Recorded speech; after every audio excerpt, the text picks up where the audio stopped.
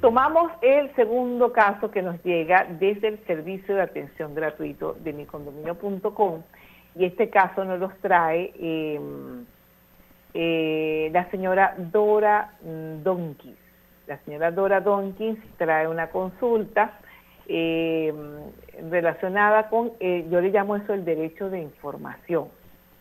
Eh, el derecho de información es es eh, ese derecho que tiene todo propietario de conocer eh, cómo está, primero cómo está la salud financiera del condominio, cómo se llevan las cuentas, de qué manera eh, ha ingresado dinero, de qué manera se ha gastado el dinero sobre esas cuotas de condominio a las cuales estamos obligados a, cumplir y además cuánto hay por pagar, cuánto hay por cobrar. eso es muy importante. Eso es algo que, mm, que todos los copropietarios debemos saber. Ahora, ¿cómo se realiza esa información? de qué manera una persona eh, como la señora Sora nos dice este, cómo hago para que la Junta de Condominio me detalle eh, en los recibos a cobrar eh, los pagos que yo hago. O sea, me imagino que ella pregunta es dónde está el aviso de cobro me imagino que ellos este, pasarán una relación, se debe tanto este mes, pero no cumplen con la obligación de, em, de presentar el aviso de cobro. Entonces, mm, fíjense que eh, el aviso de cobro es una obligación, o sea, no es un favor que se le hace a un copropietario.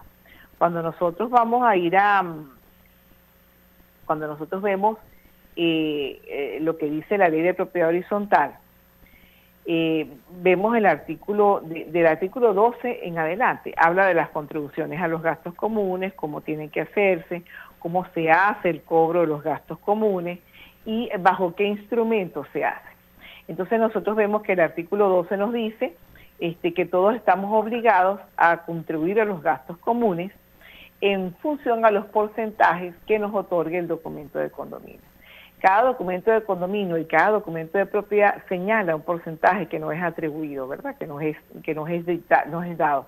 Cuando nosotros vemos el documento decimos, yo compro un apartamento, estos son los linderos, estas son las medidas, y tiene asignado un porcentaje de tanto por ciento que normalmente es expresado en milésimas.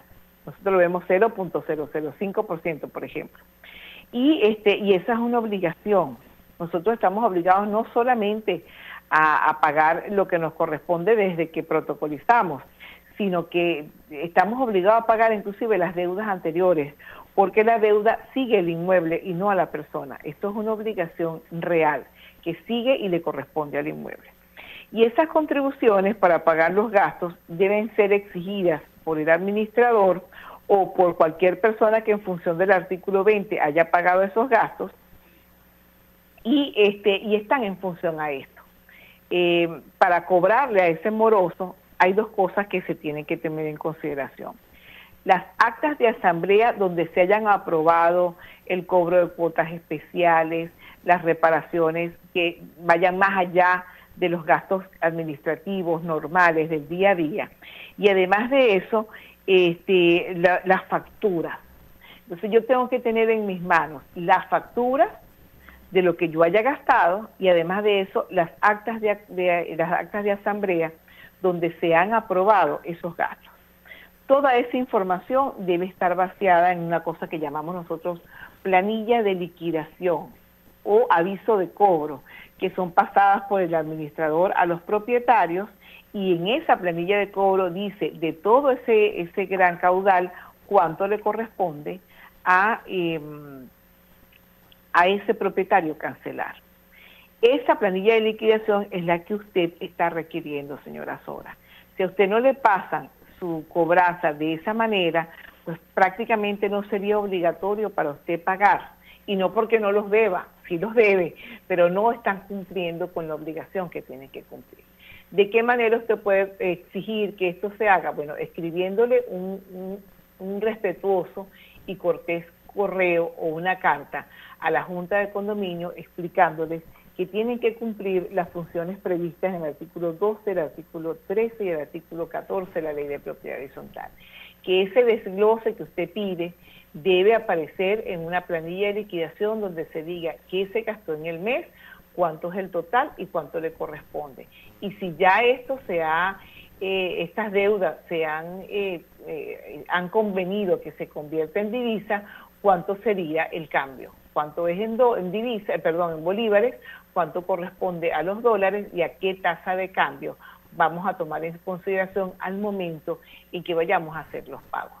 Esta es la manera en que deben hacerse las planillas de liquidación y esta es la manera en que debe exigírsele a las personas que se haga.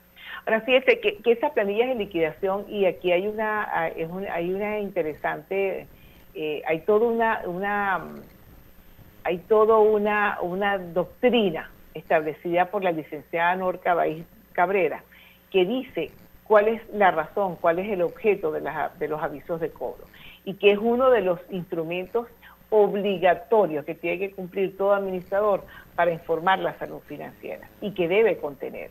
Y debe contener la fecha, tiene que la fecha de emisión, la fecha de vencimiento, el periodo al cual le corresponde, el nombre del propietario obligado, el porcentaje que debe pagar, los datos del condominio y una descripción lo más completa posible de lo que se pagó. Por ejemplo, si yo tengo que poner 600 bolsas de basura, basura negra correspondiente al periodo del 1 de octubre al 15 de octubre.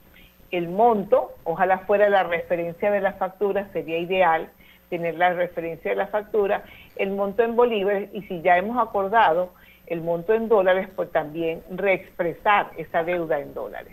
Los servicios públicos, eh, el servicio de agua, lo que se pagó por agua, por gas, por electricidad, esos servicios normales, sueldos, salarios, eh, los gastos del administrador si los hubieren, este, y todas esas compras que hayamos hecho.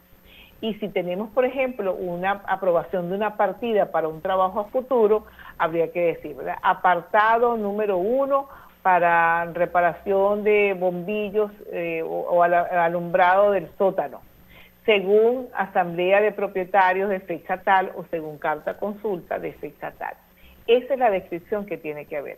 Todo eso se totaliza y se le saca el porcentaje que le corresponde. Y además, en esa, en esa planilla de liquidación también debe existir, señora Dora, una pequeña información mensual que implique eh, cuánto se recaudó, cuántos son las cuentas por cobrar, cuántos son las cuentas por pagar, cuánto se tiene en fondo de reserva y cuánto se tiene en los demás fondos que se hayan apartado. Esto es muy importante. Y una información adicional de cuál es la tasa referencial de cambio a la que vamos a estar sometidos en caso de que se haya, se haya tomado la decisión de reexpresar la moneda en divisa, eh, la, la, tasa que se haya aprobado en la asamblea de copropietarios y lo más importante, la fecha de vencimiento. ¿Hasta cuándo tengo yo oportunidad de pagar esa deuda? ¿Por qué? Porque es justamente a partir de esa fecha en que el propietario entraría en mora. Eh, no hace falta tener tres, cuatro y cinco meses para entrar en mora. Se, tiene, se entra en mora en el momento inmediato eh, o después que la obligación ha vencido y no se ha producido el pago por parte del deudor. Esas son todas las informaciones que deben tenerse en esa planilla de, liquidación y es un derecho a la información que a usted le corresponde como copropietario. Entonces, le deseo muchísima suerte, utilice este audio para poder pasárselo a la, a la Junta de Condominio o las personas que hagan las veces de, la administración y ojalá ellos puedan eh, tomar las correcciones que son necesarias. Así le damos respuesta a la señora eh, Sora Donkin, que nos escribió al servicio público de atención gratuita de micondominio.com.